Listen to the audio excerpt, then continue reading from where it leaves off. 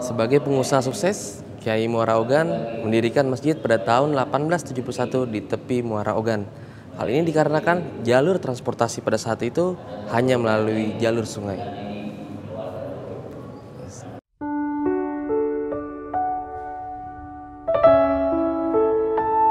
Pada tahun 1871, Kiai Muara Ogan atau Kimarogan mendirikan masjid di antara Sungai Musi dan Sungai Ogan. Masjid ini berdekatan dengan stasiun kereta api Kertapati yang berada di Jalan Kiai Marogan. Masjid Kiai Marogan ini awalnya bernama Masjid Kiai Abdul Hamid bin Mahmud karena beliau dikenal sebagai ulama besar di Muara Ogan. Jadi masyarakat menamai masjid ini Kiai Muara Ogan atau Kimarogan.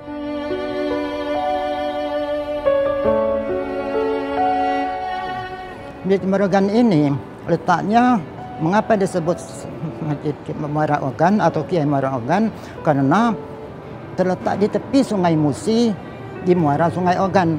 Eh, di depan kita sini ada Sungai Musi, di samping kirinya ada Sungai Ogan, itu di muaranya jadi. Jadi nama Abdul Hamid itu kurang dikenal, lebih dikenal dengan nama sebutan Kiai Muara Ogan karena tinggal di tepi Muara Ogan dan diabadi, diabadikan dipakai sebagai nama jalan jalan ke Merogan itu dari jembatan Ketapati sampai ke flyover Musi 2 atau Keramasan itu.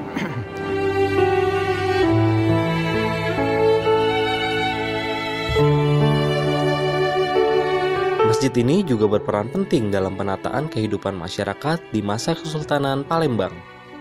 Peran dan fungsi Masjid Agung Palembang memiliki pengaruh pada peralatan struktur pemerintahan. Sedangkan Masjid Muara Ogan memiliki fungsi perbaikan kultural masyarakat Palembang. Pembangunan masjid ini dibangun di tepi sungai karena memperhatikan kondisi sosial ekonomi masyarakat Palembang. Ketika itu, aktivitas ekonomi dan transportasi banyak dilakukan melalui Sungai Musi. Pada mulanya, masjid ini digunakan sebagai tempat sholat dan belajar agama para keluarga dan masyarakat sekitar. Karena Kimarogan memiliki banyak murid, masjid ini yang semula milik pribadi kemudian diwakafkan. Semakin lama jumlah jamaah Kimarogan semakin banyak. Kemudian, masjid tersebut ditingkatkan fungsinya untuk sholat Jumat.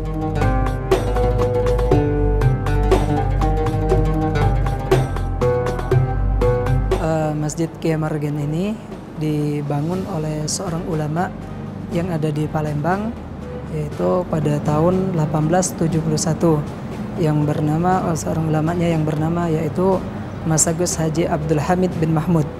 Uh, pada awal mulanya uh, Kiai Marogan atau Mas Agus Haji Abdul Hamid bin Mahmud ini mendirikan uh, masjid ini di uh, Muara di Muara antara uh, muara Sungai Musi dan Sungai Ogan um, karena beliau mengambil pembangunan masjid di muara ini karena uh, untuk akses jalan pada waktu itu untuk dakwah beliau uh, melalui sungai-sungai anak-anak sungai dan juga sungai-sungai Musi.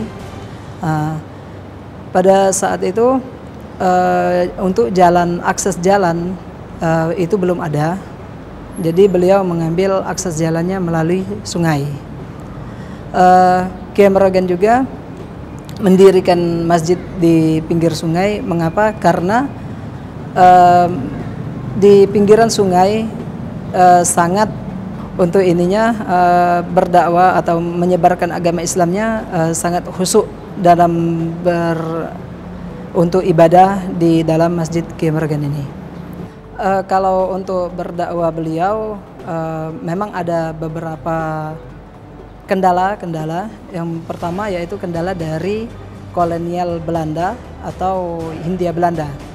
Karena orang Belanda kan orang Kristen. Uh, jadi mereka tidak mau adanya agama Islam yang masuk di kota Palembang atau kota yang disebut dulu kota Jejawi untuk di kota Palembang ini uh, untuk masyarakat dengan Kiai Morogan itu alhamdulillah pada saat itu uh, mereka sangat menerima untuk penduduk pribuminya.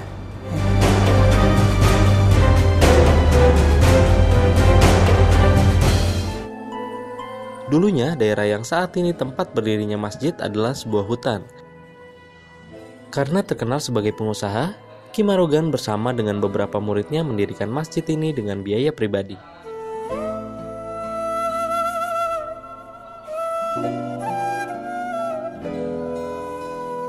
Untuk proses pembuatan masjid ini pada saat itu uh, daerah ini uh, bentuknya hutan dulu uh, disinggahi oleh Kiai Marogan dengan murid-muridnya. Beliau membangun masjid ini dan arsiteknya saja itu dari Kiai Marogan sendiri.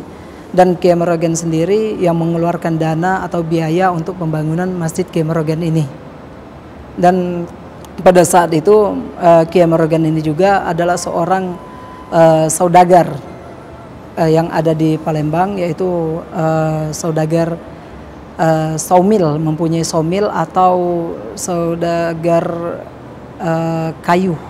Nah itu uh, kalau masalah untuk uh, agama pada saat itu uh, mungkin dari orang-orang tua kami dulu mengatakan bahwa kalau dulu untuk agama Islam itu sudah menyebar ke seluruh Indonesia pada waktu itu. Dan untuk ininya apa pemahaman tentang ibadahnya saja yang kurang pada waktu itu. Dan itulah waktu itu disebarkan oleh lagi oleh Kiai Marogan melalui dakwah-dakwah beliau. Dia mendapatkan uh, ilmu dari seorang ulama ulama yang ada di Mekah baik pun ada yang di Palembang. Dia meneruskan uh, dakwanya.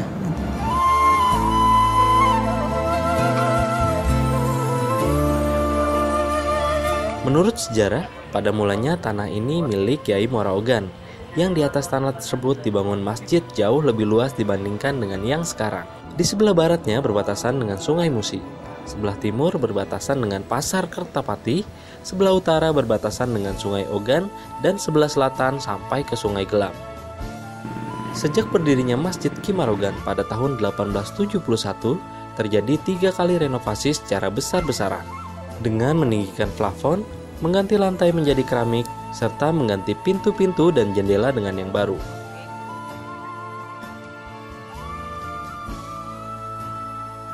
Renovasi ini sendiri memakan biaya 325 juta rupiah yang ditanggung sendiri oleh seorang pengusaha kayu asal Palembang. Bapak Kemas Haji Abdul Halim bin Kemas Haji Ali yang diresmikan pemakaiannya oleh Menteri Kehutanan Republik Indonesia waktu itu, Bapak Insinyur Haji Hasrul Harahap.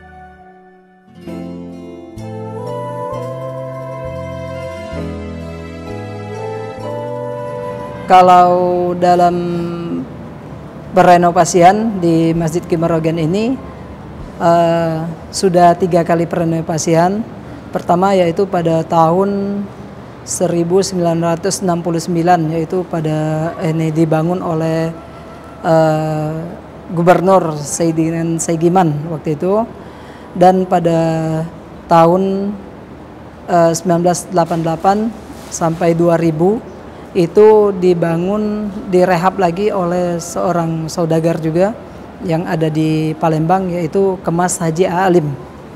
Kalau arsitekturnya ini berbentuk uh, Palembang, China, uh, Arab.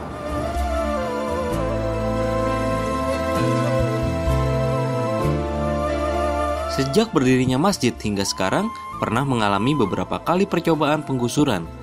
Ini dikarenakan letak masjid yang sangat strategis. Pada tahun 1911, perusahaan kereta api Zwitspur Sumatera milik pemerintah kolonial melakukan perluasan kereta api. Akibatnya, tanah milik sang kiai diambil dan yang ada sekarang tinggal seluas 12.586 meter. Di tanah berbentuk bujur sangkar ini, selain berdiri sebuah masjid kuno juga terdapat sebuah sekolah. Selanjutnya, pada masa Jepang, terjadi pendalaman sungai Musi tepat di depan bangunan Masjid Kimarogan untuk keperluan pengambilan bahan batu bara. Akibatnya, tanah yang ada di pinggir sungai mengalami erosi terus-menerus sejak tahun 1943 hingga 1980, baik oleh hempasan sungai atau curah hujan yang tinggi.